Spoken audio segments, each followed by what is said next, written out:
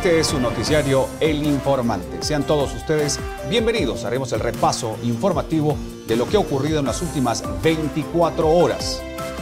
Atentos porque arrancamos. Señora, mantenga siempre en casa suero beberé. Si el patojo hace aguadito o si al señor le da la pálida por el trabajo duro bajo el sol o por mucho ejercicio, deles suero beberé.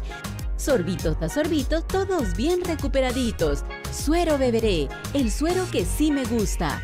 Disfrútalo en sus tres sabores, cereza, coco y manzana. Yo lo recomiendo. Suero beberé, el suero que sí me gusta, un producto de maravilla.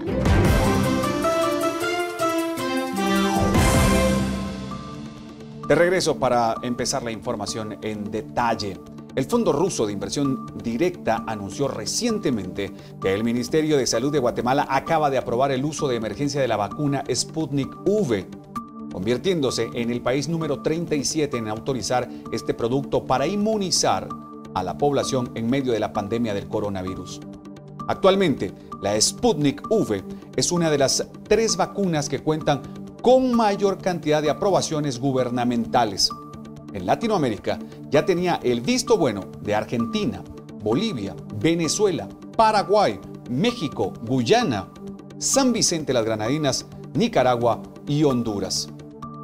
Kirill Dimitrev, director del fondo, expresó, Guatemala es el tercer país de Centroamérica que aprueba el uso de Sputnik V, la vacuna rusa segura y eficaz. Es ampliamente reconocida, reconocida en todo el mundo como una de las herramientas clave para poner fin a la pandemia pronto.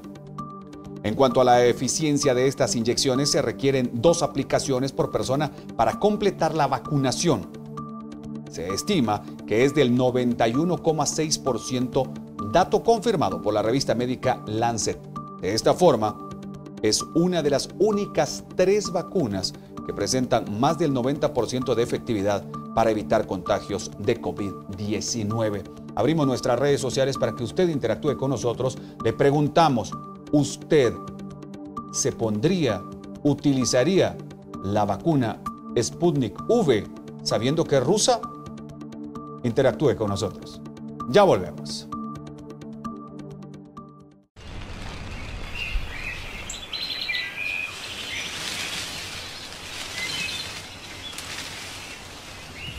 Toda la naturalidad y frescura están a un solo paso con De la Granja. Nueva botella de medio litro con tapa abre fácil. Destapa en un solo paso el delicioso sabor de siempre. Y ahora también disfruta de la Granja Piña. Naturalidad y frescura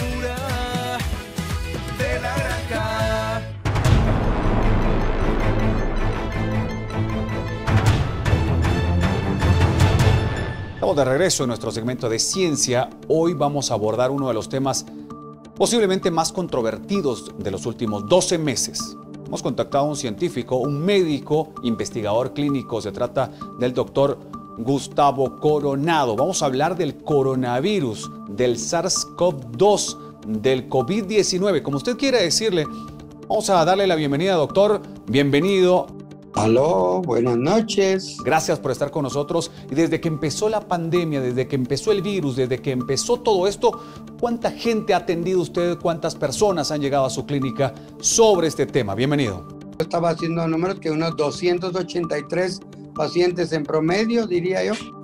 ¿Pero qué tenían realmente? ¿Era mental lo que padecían? Lo que a mí me ha pasado, yo creo que he tenido como 10 veces eh, coronavirus psicológico, pero el tema con lo que llegaban a usted, ¿era mental o era fisiológico? Bueno, según mi experiencia, eh, yo, para mí esto está matando a la gente el miedo. Cuando uno lee en, eh, en Google, que es lo que más consulta la gente, y ve el síndrome de ansiedad, de pánico o de terror, que se le llama también, y lee todos los síntomas que describe ahí, el paciente cuando lo lee y ha tenido problemas con el COVID, siempre me menciona en la clínica que él tuvo todos los síntomas que describe el síndrome de ansiedad, de pánico o de terror. lo cual para mí el paciente muere de miedo, no muere por la enfermedad, ¿verdad? De la gente que usted ha visto hasta el momento, ¿alguno murió de coronavirus? Pacientes que yo haya comprobado con prueba de SARS-CoV-2 positivo, que yo tenga eh, experiencia en ver en mi clínica y que hayan muerto, pues no vi a ninguno, ¿verdad?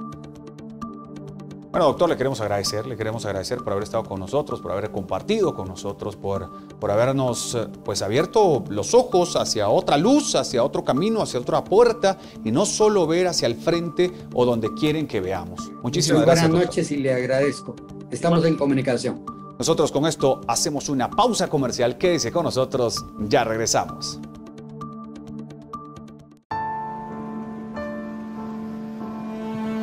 Un osito que nunca ha sido abrazado.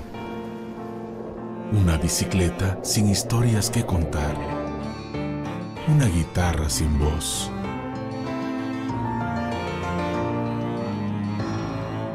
Y muchos niños que no pierden la esperanza, que con tu ayuda se mantiene viva. Teletón, una obra de amor que nos llega al alma. Maruchan.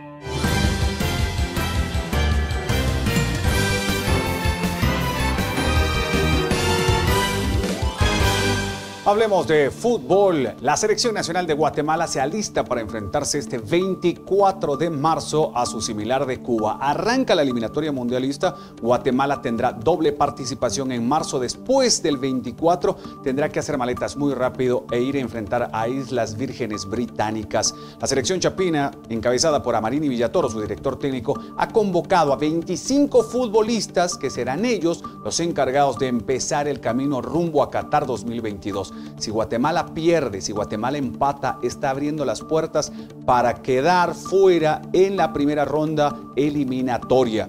Habrá que decir que el margen de error es muy corto en esta eliminatoria porque solo uno de cuatro que integran el grupo C donde está Guatemala clasificarán a la siguiente fase. De ganar la fase Guatemala, su peor contrincante es Curazao en este momento. Tendremos que visitar la isla de Curazao, donde tienen a Gus Hiddink como director técnico. Si se pasa esta ronda, podríamos estar enfrentando a la selección de Panamá, que ya nos ganó aquí a inicios de 2020, antes de que fuera todo esto del encierro. Panamá vino a nuestro país y nos ganó dos goles por cero. Ahora los panameños tienen a un nuevo director técnico, a Thomas Christiansen, que está cada vez elevando el nivel. Por lo tanto, Amarini Villatoro confía en estos 25 futbolistas que a partir del 24 arrancarán la eliminatoria mundialista. Ojalá que nos vaya muy bien, porque somos guatemaltecos, porque somos chapines y porque nos gusta el fútbol. Una pausa, ya venimos.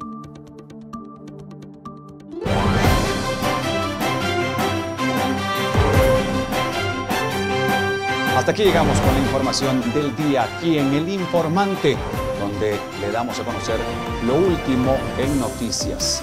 Será mañana cuando regresemos. Pásela muy bien.